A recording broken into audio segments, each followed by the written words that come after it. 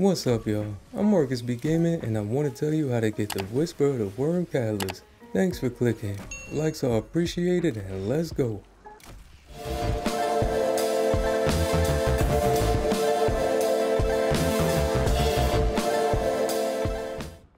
The Whisper of the Worm is a stupid big heavy sniper that refills bullets to the mag for 3 rapid critical hits.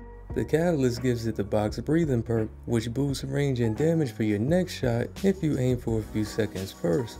To get the cat, you have to run Vanguard Ops, Crucible and Gambit matches and hope it drops at the end. To master work, you might need 300 kills. If someone can please confirm that number in the comments, I'd appreciate it.